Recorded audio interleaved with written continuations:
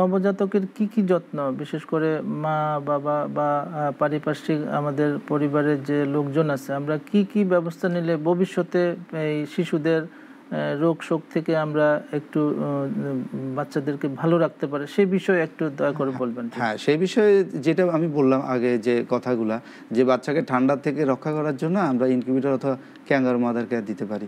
এরপরে আমরা যে কিন্তু যেই বাচ্চাটা নবজাতক, তার কিন্তু রোগ প্রতিরোধটা খুবই কম। তাহলে এই রোগ প্রতিরোধ বৃদ্ধির জন্য আমাকে যেটা করতে হবে সেখানে অনেক লোকজন যেন না আসে। এবং বাচ্চাকে অনেক সময় আদর করে আমরা চুমু খেয়ে সেটা কিন্তু করা যাবে না। বেশি বেশি করা যাবে না। এবং বাচ্চাকে কিন্তু মায়ের বুকের দুধ খাওয়াতে হবে। মনে রাখতে হবে মায়ের বুকের দুধ কিন্তু শিশুর প্রথম টিকা।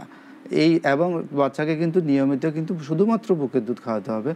আর যেটা হলো যে বাচ্চাকে আমরা যদি যে অনেক সময় বাচ্চাকে যত্ন করা হয় অনেক সময় যে গোছল দেওয়া হয় সাধারণত বলা হচ্ছে তিন দিনের আগে আমরা সাধারণত বাচ্চাকে গোসল করাই না।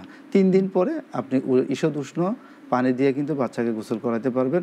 এই ছাড়া আরেকটি যত্ন, অনেক সময় গায়ে আপনারা কিন্তু, আমরা কিন্তু অনেক ধরনের জিনিসপত্র ইউজ করি। আসলে প্রকৃতপক্ষে বাচ্চাদের নারিকেল তেল এবং অলিভ অয়েল কিন্তু সবচেয়ে সুইটেবল এ, এবং সরিষার তেল আমরা অ্যাভয়েড করার চেষ্টা করি। তো এইসব যত্ন যদি আমরা করতে পারি, তাহলে একটা নবজাতক স্বাভাবিকভাবে বেড়ে উঠবে। আচ্ছা ধন্যবাদ। আরেকটা বিষয় যে, নবজাতকের যত্নের মধ্যে অনেক মানে প্রচলিত ধারণা আছে, যেমন বিশেষ করে নানিরা, দাদিরা সবসময় যেটা বলে যে, তিন দিনের দিন চুল কাটতে হবে, সাত দিনের দিন গোসল করাতে হবে। এই ধরনের আমরা যদি বৈজ্ঞানিক দৃষ্টিকোণ থেকে আমাদের দর্শকদেরকে সহজভাবে বলতেন যে অ্যাকচুয়ালি যে, মাথার যে চুল কামানো বা মাথায় যে তেল দেওয়ার বিষয়টা বা অলিভ অয়েল দেওয়ার যে বিষয়টা, এটা কি নির্দিষ্ট কোনো মানে ল্যান্ডমার্ক আছে যে সাত দিন তিন দিন এক মাস দুই মাস, এই ধরনের কি কোনো মানে বৈজ্ঞানিক উপায় বা বৈজ্ঞানিক ব্যাখ্যা আছে যেটা আমরা বাচ্চাদেরকে আমাদের সঠিক যত্নের মধ্যে আমরা আত- আওতায় আনতে পারি? এই বিষয়ে একটু বলেন। হ্যাঁ বিষয়টি আসলে খুবই সময় উপযোগী কারণ আমরা জানি যে আমরা যখন ছোটবেলা থেকে বড় হয়েছি অনেক মিথ চলে আসছে কিন্তু এখন বিজ্ঞান অনেক উন্নত হয়েছে এবং সেগুলোর ব্যাখ্যাও আছে। এখানে বলা হচ্ছে যে বাচ্চাকে জন্মের সাথে সাথে বুকের দুধ খাওয়াতে হবে। এক ঘণ্টার মধ্যে। সে যেটাকে আমরা শাল দুধ বলে রাখি। এবং তিন দিনের আগে নয় অর্থাৎ তিন দিন পরে তাকে আমরা গোসল করতে পারি। আর চুল ফেলানো বা অন্য কিছু এই জিনিসগুলো কিন্তু আমরা কিন্তু যে কোনো সময় করতে পারেন। এটা ম্যান্ডেটরি না যে চুল ফেলতে হবে। কিন্তু একটা জিনিস মনে রাখতে হবে বাচ্চাকে মাথা এবং শরীরটা কিন্তু বাচ্চাকে কিন্তু পরিষ্কার পানি দিয়ে কিন্তু ধুয়ে নিতে হবে। আচ্ছা আচ্ছা জি।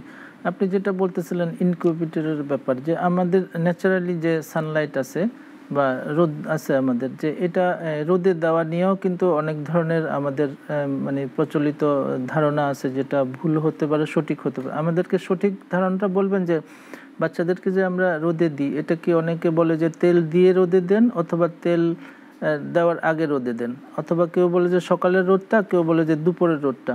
অ্যাকচুয়ালি আমাদেরকে একটু দর্শকদের উদ্দেশ্যে বলবেন যে কোন সময় বাচ্চাদেরকে রোদে দিলে বাচ্চাদের অ্যাকচুয়ালি স্কিনের ডেভেলপমেন্টের সুবিধা হবে। হ্যাঁ এখানে বলা হচ্ছে যে প্রত্যেক মানুষেরই কিন্তু রোদ দরকার আছে।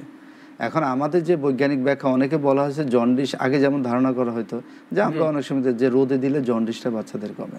কিন্তু এই ইদানিং বাংলাদেশে বলা হচ্ছে যে লেভেলে জন্ডিস থাকে রোদে যদি নাও দেওয়া হয় ওটা কমে যাবে। সুতরাং জন্ডিসের সাথে রোদের কোনো সম্পর্ক নাই। আপনি রোদে দিতে পারেন বাচ্চাকে জাস্ট একটু গরম রাখার জন্য এবং সেটা কমল কোমল রোদে হতে হবে। আরেকটি ব্যাপার হলো যে আমরা অনেক সময় ভিটামিন ডি যেটা বাংলাদেশে অনেক কমে যাচ্ছে ভিটামিন ডি পাওয়ার জন্য যদি আপনি রোদে দেন সেটা কিন্তু দশটা থেকে দিনের তিনটা এবং সপ্তাহে আপনি তিন থেকে চার দিন এবং আধা ঘণ্টা করে দিতে হবে। অর্থাৎ এই যে আগে ধারণা ছিল যে রোদে দিলে আপনার বাচ্চা ভালো থাকে সেটার বৈজ্ঞানিক ব্যাখ্যা হলো এই জিনিসটা আর।